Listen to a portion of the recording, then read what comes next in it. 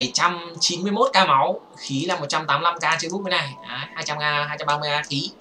Nội công uh, 113k à, bắn thử thằng này xem nào.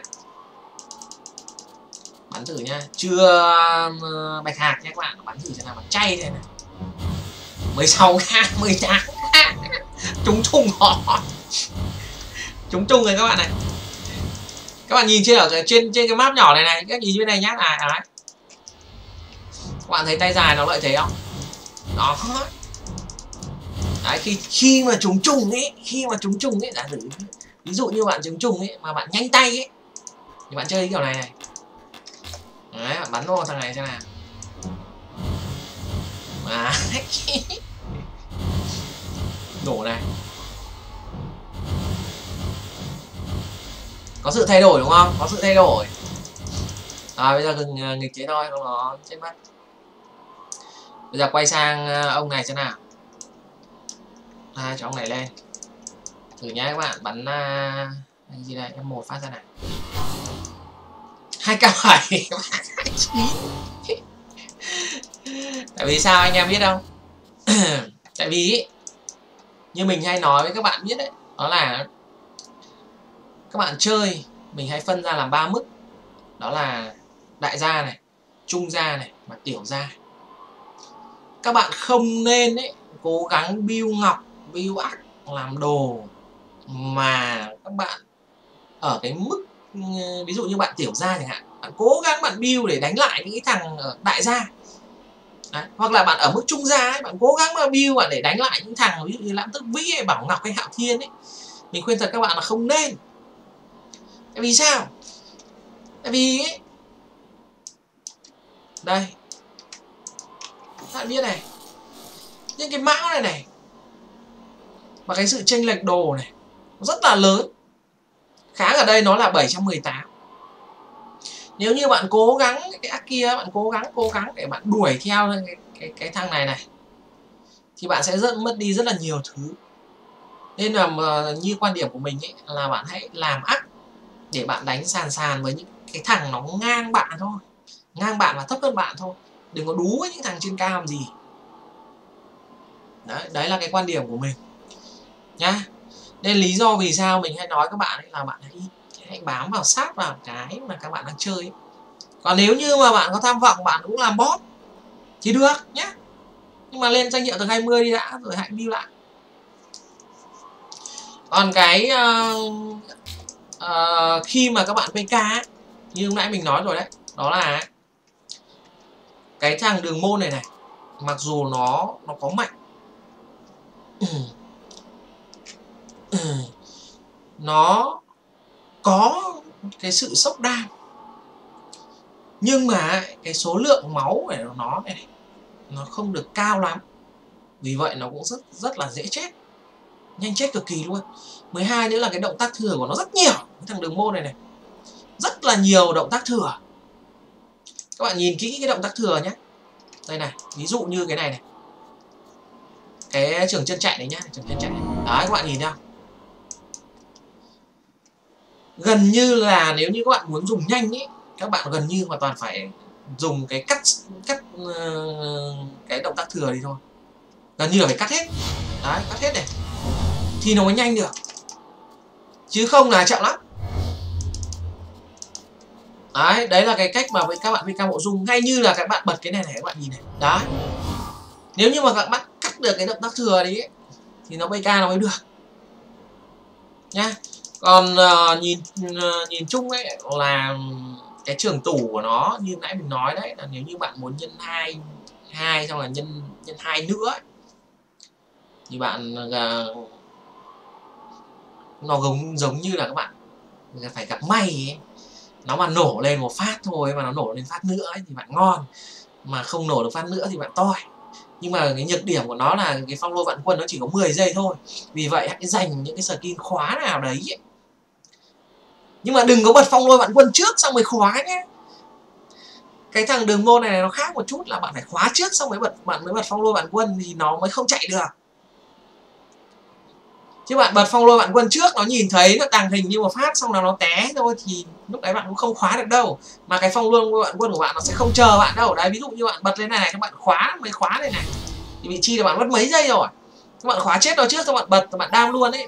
Thì là đương nhiên là cái, cái cái thời gian bạn được hưởng lợi là nhiều hơn.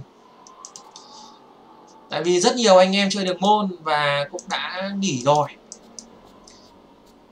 nhưng mà nhìn chung ấy là đường môn các bạn muốn mạnh ấy nó phải từ khoảng tầm 600 k máu trở lên. Còn tầm ờ, tầm tầm ờ, hơn 500 k máu quay xuống ấy là chắc chắn là bạn số lượng bạn là ăn được phái nạo phái kia là ít nhá. Đấy, nhìn chung là như thế. Còn à, đây này mình sẽ thử cho các bạn xem à, một chút xíu nữa. Giả sử như là mà một số những cái skill ờ, điển hình của đường môn giả sử như là khối lỗi này đó các bạn nhìn này. Nó nổ này. Đấy nó nổ này. Nhưng mà ấy, cái này thì các bạn rất là khó đặt đối với những thằng tay dài. Rất khó đặt. Chỉ đặt gần như với tay ngắn thôi. Là mù. Và một số bản khác thì nó là định thân nhưng mà này là mù.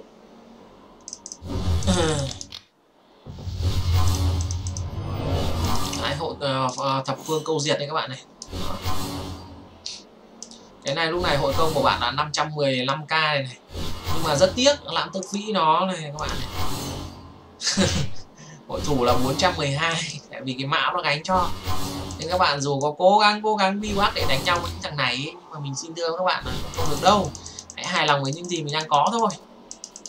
Đấy còn thằng ờ, đường môn ấy đấy vì sao mình hay nói với các bạn là cũng đừng nên ờ, đú với chúng nó làm gì tại vì sao? Cái chính xác của bạn 73k nhưng mà bạn đánh những thằng boss này này, là vì danh hiệu nó cao rồi. Nên cái thân pháp cái né của nó lên cao lắm. Nội thủ của nó đây các bạn này. Nội thủ của nó lên 81k mà lúc nãy các bạn ốp full nội công ấy, nó được có 80k thôi. Đấy là lý do vì sao mình nói là lúc nãy bạn bạn 70 thôi thì nó cũng 80 nó cũng chả khác gì nhau ấy. Lý do nó là như này này. Đó. À, xong xuôi à, đấy hôm nay giúp anh em hiểu nhiều vấn đề về à, ắc ủng các thứ. Hy vọng là các bạn sẽ có những cái cách build up cho nó ok. Còn anh em nào mà cần mình xào ấy thì cứ nhắn tin vào facebook cho mình nhé link facebook à, thì ở dưới phần mô tả. Đấy. Bắn này các bạn này chúng trùng luôn này. Chúng trùng luôn rồi. Đấy đấy đứng chỉ có đơ đơ thôi. đẳng cấp của boss nó khác mà các bạn. Rồi sẽ còn gì nữa không? Hy vọng là bạn chủ ác cũng có cái nhìn mới về ác của mình nhé còn à, cứ tập pk đi. Nhớ cái à, mình chỉ cho các bạn đấy. khi các bạn xào ác là tm sẽ chỉ cho các bạn nhiều cái hay đặc biệt là cái mà các bạn à, bỏ mất cái sự gọi là cắt bớt cái sự yêu thừa đi nó rất là dễ hơn.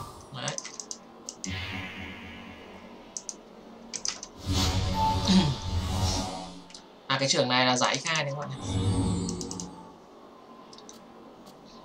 ok anh em à, còn câu hỏi gì không? À, chúng bên này giá sao ông ơi? Chúng bên này giá được xem xem khoảng tầm trên dưới 10 m nhé.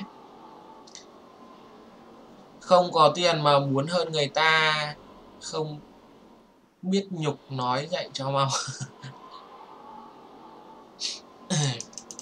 trùng này nói thật các bạn như này này à, mình đồng ý là các đặc quyền của bot ấy là người ta người ta có quyền nhé người ta có tiền người ta có quyền build up với hai nữa là những đại gia ấy, thì pk nó hơi vụng về. Tất nhiên không phải tất cả nhé nhưng mình nói là phần lớn ấy, các đại gia là pk nó hơi vụng về. Vì vậy là gì ạ? Họ không thể nhanh tay nhanh chân bằng mấy thằng trẻ trâu được. Mà họ phải đánh một cách gì? Chậm rãi giống như một ông hoàng ấy cứ chậm rãi bắn chậm rãi bắn thôi. Vì vậy là gì ạ? Mày phải đứng im đấy để cho ta bắn mà muốn là đứng im đấy để cho tao bắn thì phải gì ạ? Phải nhiều chung. Anh em cứ ngẫm mà xem cho nó đúng không? Đó. Nhá. Ok như thực sự là nếu như anh em nào mà có một cái bản nào mà nó không có trùng ấy mà chơi anh em nguyên đồ chế không ấy nguyên đồ chế 8 sao không ấy, thì chơi cũng khá là hay đường môn thì mua đồ hội công cao là làm không phải đâu bạn ơi.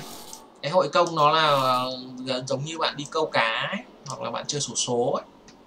cái hội công nó không hoàn toàn chính xác đâu các bạn đâu. Dù bạn lên 500 hội công nhiều khi nó hơi ảo nhé. Nói thế để cho các bạn biết. Cái hội công nó đúng là lên càng cao cái tỷ lệ nổ của nó càng nhiều nhưng không phải lúc nào nó cũng nổ. Không phải là lúc nào nó cũng đúng như thế cái hội công nó ảo thôi. Nhé đây bắn thằng này thế này. Nói hai trăm bảy này, bút này. Phong lợi luôn này. 400 này. Đó các bạn nhìn thấy ngay sự thay đổi đấy. Hết 5 giây này. 4 3 2 1 này. đấy là tụt xuống này. Đó. Thì là cái lợi thế của phong lôi bản quân đấy các bạn. Còn đây này, ví dụ như là thập phương câu diệt đây này lúc này à, này của bạn là 514 này. Đấy thì nó cũng có nổ. Nhưng mà như trong BK nó ảo.